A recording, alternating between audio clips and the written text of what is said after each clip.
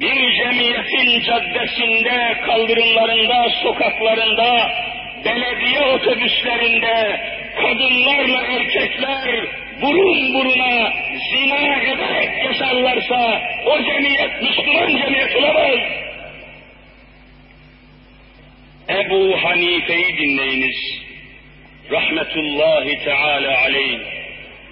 İmamul Azam, büyük imam, büyük müştehit Ebu Hanife iştihad etmiştir. Bir kadının, bir hanımın bütün fıkıh kitaplarında göreceksiniz. Bir kadının oturduğu koltuktan, kanepeden, sandalyeden o kadın kalktıktan sonra o kadının vücudunun ısısı, vücudunun harareti o sandalyeden, koltuktan, iskemleden iyice zail olmadan o kadının vücut harareti, vücudunun ısısı iyice kaybolmadan o sandalyeye oturan Müslüman o kadınla zina etmiş gibidir diyor. Sen hangi cemiyetten bahsediyorsun kardeşim?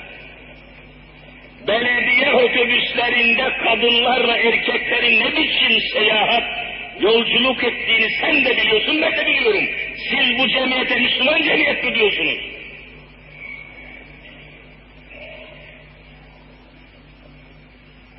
Evet. İslam hukukuna, İslam edebine, İslam iffetine göre dokuz yaşına girdikten sonra Müslüman baba kız çocuğunun diz kapağından yukarısına bir santim bakamaz.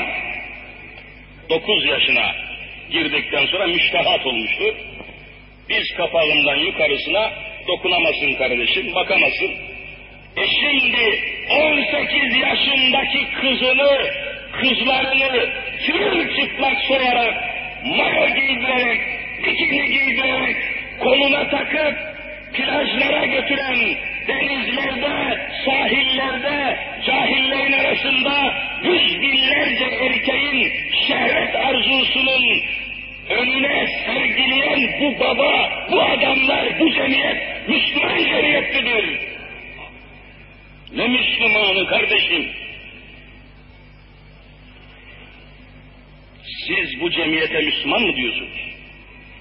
Bu cemiyetin rağbeti, ragaibi İslam değildir.